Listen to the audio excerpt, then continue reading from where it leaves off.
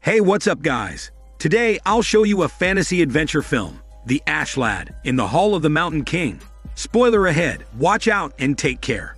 The movie begins through a narration of a tale about a troll called Mountain King. It's believed that the Mountain King is hiding its mountainous hormones in a faraway mountain, waiting for a princess to turn 18 without getting married. According to the story, the mountain troll will wake up from deep sleep to abduct the princess, and it will marry her and turn her into its hormone slave. Scared of this event, the king set a marriage for his daughter, who is also considered the princess, before she turns 18 the next day. The king sets the princess to be married to a prince from another kingdom. The prince arrives in the kingdom and introduces himself to the king. The prince acts arrogant and looks down on everyone. During dinner, the prince boasts to the audience. He tells a story of how he managed to knock down a bear using his bare hands and strength. The princess appears to be not impressed by his behavior, so she walks out of the dinner and expresses her disagreement with the marriage. The king then scolds her and forces her to marry the prince without her consent. Without a choice, the princess runs away from the kingdom to escape from the unwanted marriage. She rides a horse and proceeds to wander around the woods. There, she almost hits a young man named Espen, accidentally making him fall into the river. Espen is a son of a peasant who just came from the market to buy food for his family. Espen gets soaked in the water, so he playfully soaks the princess in return. He then introduces himself to her. However, she is annoyed by his naughty behavior. As a response, he offers her food.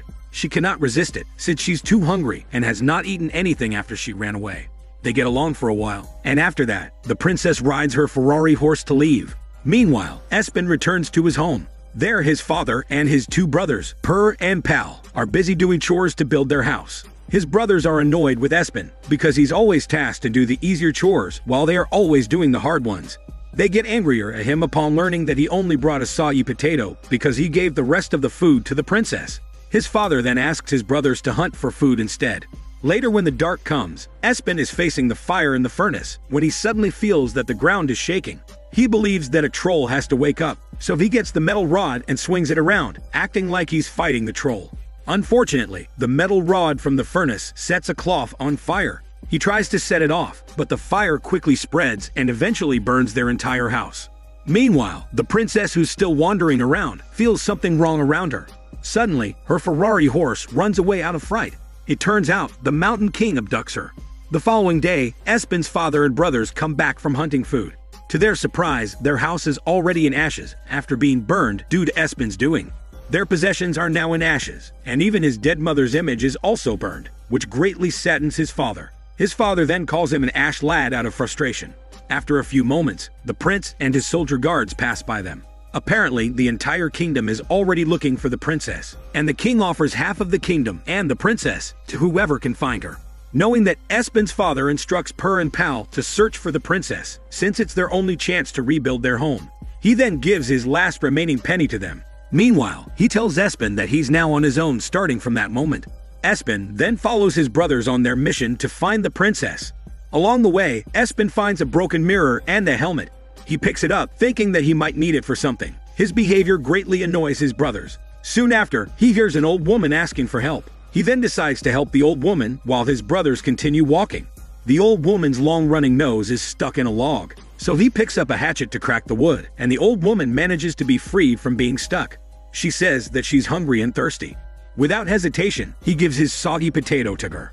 He says that he's looking for the princess, she says that the Mountain King has taken her away, and he can do nothing to save her. But he is determined, so the old woman gives him a magic map that will lead to a sword that can damage the skin of the Mountain King. He talks to the magic map, and it shows the path he needs to take. In the kingdom, a servant reports to the king that they find a giant tooth. This confirms the king's suspicion that the Mountain King has taken the princess away. At night, the princess wakes up, and she finds herself trapped in the cave of the Mountain King. The following day, the two brothers find golden apples in a basket and they eat all of them. In a few moments, they begin laughing like crazy, and beautiful young women come to invite them to their homes to eat more. Espen also finds a golden apple and he begins hearing birds chirping. He follows the sound and he soon finds his two brothers eating along with the beautiful women. He then joins them in the feast, but soon enough he realizes that they are hallucinating from eating the golden apples. Apparently, the beautiful women are witches, while the delicious foods on the table are already rotting. Knowing this, Espen immediately leaves, and he drags the two brothers along with him. They are still under the hallucination spell and do not want to leave, so Espen slaps both of them to wake them up. They wake up from the illusion, prompting them to run their hungry stomach away with Espen. The witches chase them, but they manage to escape just in time before the passage closes. The two brothers then become thankful to Espen, and they now believe him. Espen informs them about the mountain troll. He says that people cannot see the mountain troll because it can only go out at night. Apparently, the sunlight turns the mountain troll into a stone.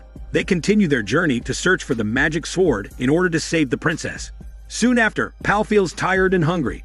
He sees a bar and he decides to eat there first. Without a choice, the other two follow him. Coincidentally, the prince and his soldier guards are also eating there. The prince is determined to find the princess before anyone else. One guard sees Espen and his brothers, so he immediately reports it to the prince. As Espen talks about the magic map, the prince overhears their conversation. Knowing that the map will lead to the princess, the prince immediately talks to them. He asks Espen about the map and offers Espen and his brothers a huge amount of money that can help them rebuild their house. But Espen does not want to surrender the princess to the prince, knowing that the prince does not have good intentions for her. Out of anger, the prince then forces Espen to give the map. Espen throws a hot soup at the face of the prince. This prompts the soldier guards to attack Espen and his brothers. Per then immediately attacks back on the soldier guards, and the fight between them erupts right in the bar. In the midst of the chaos, the prince hunts Espen with his swords. The servant throws wood at Espen in order to protect himself against the prince.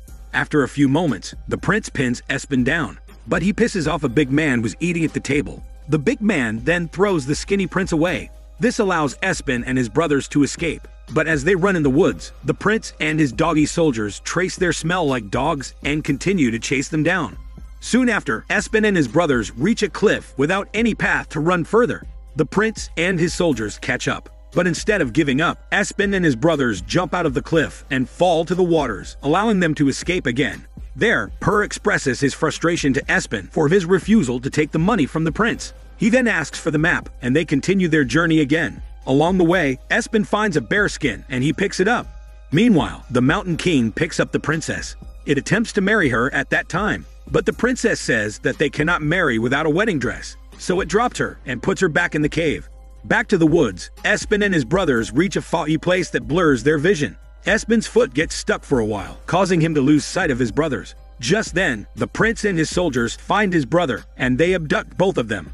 On the other side, Espen finds the marsh where the magic sword is hidden. He dives in, and the magical creatures that guard the sword attempt to stop him. But in the end, he manages to get the sword and escape from them. Espen continues his journey, and eventually, he finds his two brothers with the prince and the soldier guards. He wears the bear skin and pretends to be a bear. He charges at the prince and his men, which scares the shit out of them, thinking that he's really a bear. The prince who claims to defeat a bear also runs his panicking ass away out of fear. The big soldier bumps him out, which removes the bear's skin, revealing his true self.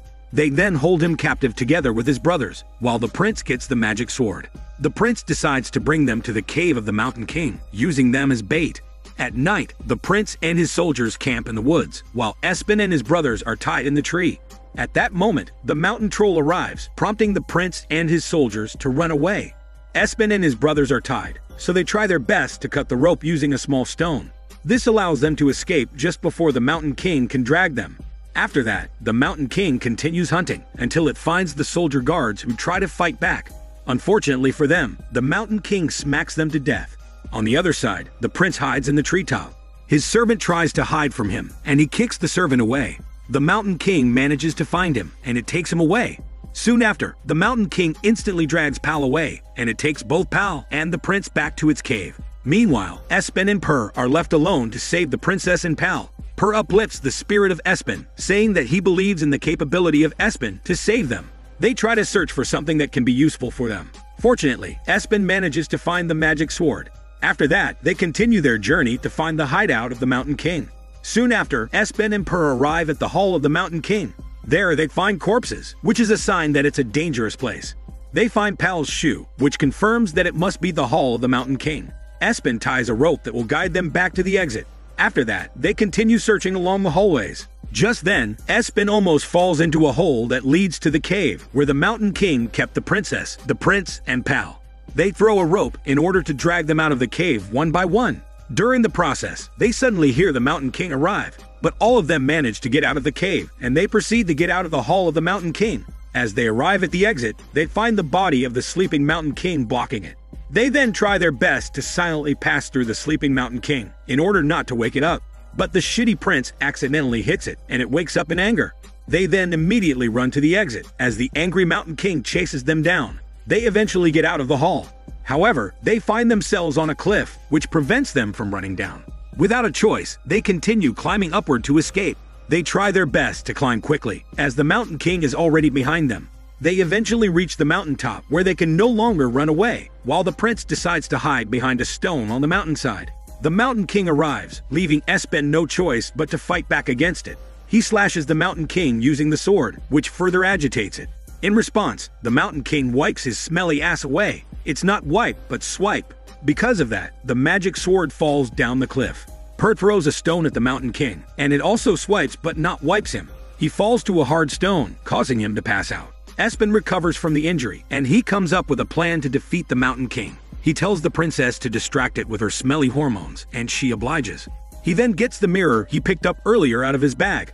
After that, he redirects the sunlight from the rising sun to immediately hit the Mountain King. This causes the Mountain King to growl in pain. After a few moments, the Mountain King finally turns into a stone. As their mission is successful, Espen, his two brothers, and the princess begin their journey back to the kingdom. Meanwhile, the prince is also walking back to the kingdom when he encounters the old woman. He asks his direction, and the old woman leads him to the place of the witches. On the other side, the princess gets back to the kingdom, and she gets reunited with his parents. The king offers Espen half of the kingdom, but he refuses to accept it. Instead, he only asks for enough money to rebuild their home and farm. The king then agrees with his request, and also says that he will allow the princess to marry whoever she wants. After that, Espen and his two brothers walk back to their home, and they reunite with their father, who welcomes them back. As their father knows that Espen successfully saves the princess, their father gets proud of Espen.